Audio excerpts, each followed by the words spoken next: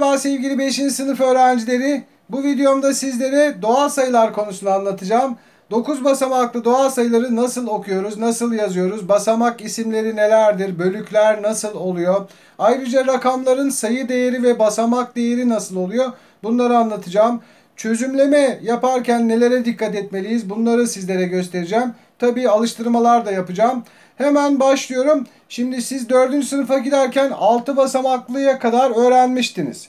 Örneğin şurası olmadığında 634.192 diye söylüyordunuz, okuyordunuz ve yazıyordunuz. Şimdi yeni bir bölük daha katıldı bu yıl. O da milyonlar bölüğü. Biliyorsunuz biz birler bölüğü deyip şöyle ayıralım. Birler, onlar yüzler. Bu üç tane basamak birler bölüğünde yer alıyordu. Sonra binler bölüğü oluyordu. Onda da binler, on binler, yüz binler. Yeni bölüğümüzde milyonlar bölüğünde milyonlar, on milyonlar ve yüz milyonlar basamakları olacak.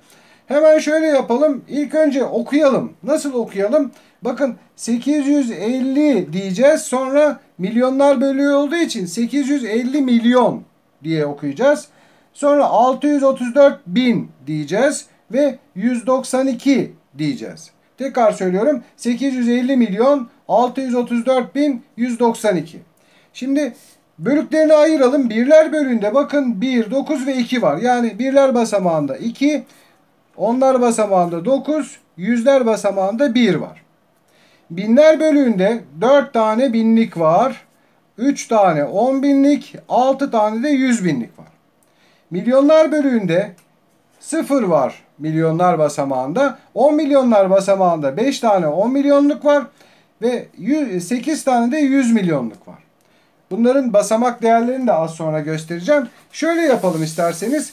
Aynı sayının basamak değerleri ve sayı değerlerini inceleyelim. Ayrıca basamakların isimlerini de inceleyelim. Şöyle ben hemen yazayım şöyle biraz ayrı bir şekilde. 634.192. Şimdi 2'nin olduğu yer birler basamağı biliyorsunuz. Basamak isimleri.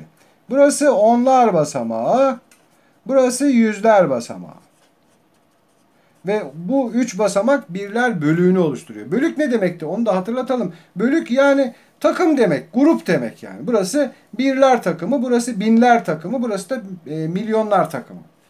Devam edelim. Dördün olduğu yer e, binler yazacaktım. Yanlış yazdım. Evet binler basamağı. Üçün olduğu yer on binler. On binler. Altının olduğu yer yüz binler basamağı. Sıfırın olduğu yer milyonlar basamağı. Basamak isimlerini öğreniyoruz burada. Beşin olduğu yer 10 milyonlar basamağı. 10 milyonlar. Ve 8'in olduğu yer 100 milyonlar basamağı. Peki bunların basamak değerleri ve sayı değerleri nasıl oluyor? Şimdi sayı değeri demek rakamın aynısı demek yani. Sayı değeri demek kaç tane olduğunu söylüyor demek. Örneğin 9 e, sayı değeri 9. Yani 9 tane var. 6'nın sayı değeri 6. 6 tane var yani. 5'in sayı değeri 5. Yani 5 tane 10 milyonluk var demektir bu. Sayı değeri diyelim şöyle. Sayı değeri. Değeri. Diyelim 2'nin sayı değeri 2, 9, 1. Hepsi aynı yani. Rakamın kendisiyle aynı. 4, 3, 6, 0, 5 ve 8. Şimdi basamak değeri. Basamak değeri. Basamak değeri dediğimizde hangi basamaktaysa orada kazandığı değer. 2 birler basamağında 2 tane birlik 2 eder. 9 onlar basamağında 9 tane onluk 90 eder. 1 tane yüzlük 100 olur. 4 tane binlik 4000 eder. 3 tane 10 binlik 30 bin. Basamak değeri 6 tane 100 binlik 600 bin. Milyonlar bölünde 0 var. Yine basamak değeri 0 oluyor. 10 milyonlar basamağında 5 tane 10 milyonluk yani 50 milyon oluyor. Ve 8 tane 100 milyonluk 800 milyon. Şunu da söylemek istiyorum. Bazı sorularda karşınıza çıkar. İşte diyelim ki buradaki 850 milyon 634 bin 192 sayısının basamak değerleri toplamı kaçtır diye soru karşınıza gelir. Bunları böyle tek tek yazıp toplamanıza gerek yok. Çünkü basamak değerleri toplamı sayının kendisiyle aynı oluyor yani. Buradaki sayının basamak değerleri toplamı 850 milyon 634 bin 192'dir. Bunları toplasanız işte bu çıkacak zaten. Peki nasıl çözümleyelim? Çözümleme 3 farklı yoldan yapabiliyoruz. Birinci yol yazarak çözümlemek. Hemen şöyle eşittir diyelim. Buradaki sayıyı yazarak çözümleyelim. En büyük basamaktan başlıyoruz. 8 tane 100 milyonluk var değil mi? 8 tane 100 milyonluk. Böyle yazarak yapıyoruz yani. Artı 5 tane 10 milyonluk. 10 milyonluk diyorum. Artı sıfırı yazmama gerek yok. Çözümleme yaparken sıfırı yazmasak da oluyor. Boşuna uğraşmayalım. 6 tane 100 binlik var. Zaten bu çözümleme şekillerini 4. sınıftan da biliyorsunuz. 3 tane 10 binlik var. 3 tane 10 binlik. Artı 4 tane binlik. Artı 1 tane yüzlük. Devam ediyorum. 9 tane onluk. Artı 2 tane de birlik. İşte bu yazarak çözümleme. Çözümleme demek aslında basamak değerlerini yazmak demek. Bir de ikinci bir çözümleme yöntemi de şöyle. 8 tane 100 milyonluk yani 800 milyon. Şöyle yaz, e, yazayım. 800 milyon artı 5 tane 10 milyon yani 50 milyon. Bu şekilde basamak değerlerini yazarak bunların toplamı şeklinde gösterebiliyoruz. E, sıfırı yapmıyorum yine yazmıyorum. 6 tane 100 binlik yani 600 bin. Artı 3 tane 10 binlik yani 30 bin. Artı 4 tane binlik 4000. Artı 1 tane yüzlük 100. Artı 9 onluk 90. Artı 2 tane birlik 2. İşte bu şekilde. Bu da ikinci bir yöntem. Şurası. Basamak değerlerini böyle göstermek, çözümlemek. Üçüncü bir yöntem de çarpma şeklinde olan yöntem. O da şöyle. Bu genelde uzun olduğu için çok kullanılmıyor. Genelde okullarda öğretmenleriniz bunları tercih ediyor ama tabii birçok kitapta karşınıza çıkabilir. Şöyle yapıyoruz. 8 çarpı 100 milyonlar basamağında olduğu için 8 çarpı 100 milyon diyoruz.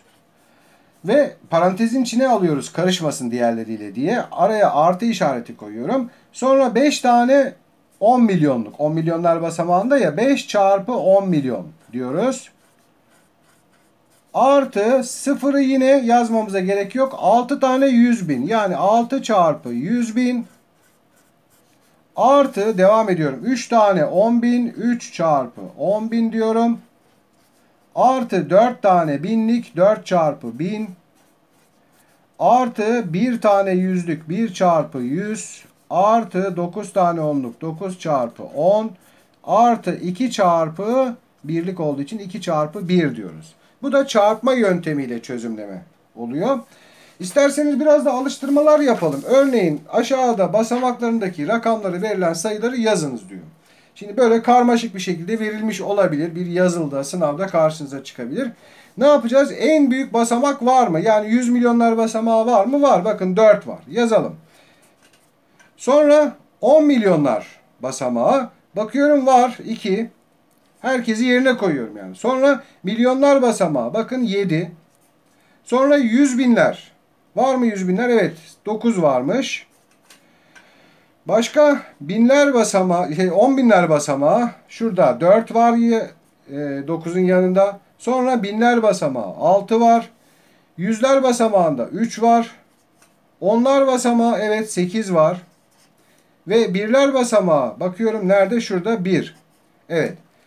Bu şekilde sayımızı oluşturduk. Şimdi okuyalım bakalım. 427 milyon 946 bin 381. Rakamları yazarken bölüklerin arasında birazcık boşluk bıraktım. Hem okuması hem yazması böyle kolay oluyor. Şimdi şuna dikkat edin. Şöyle 100 milyonlar basamağı var. Tamam 5'i yazdık. Bakıyorum 10 milyonlar basamağı yok. Verilmemiş. Demek ki yoksa o zaman biz oraya sıfır koymalıyız kendimiz. Yani buradaki basamağı boş bırakmamalıyız.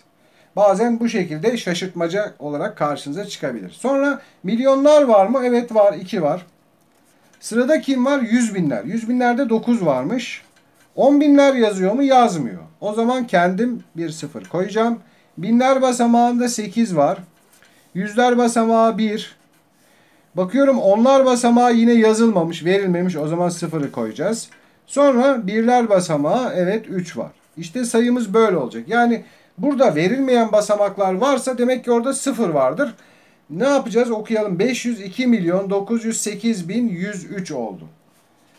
Şimdi bölükleri verildiğinde nasıl oluşturacağız? Yine dikkat edeceğimiz bir şeyler var burada. Şöyle ilk önce milyonlar bölüğünü yazacağız. 25 var.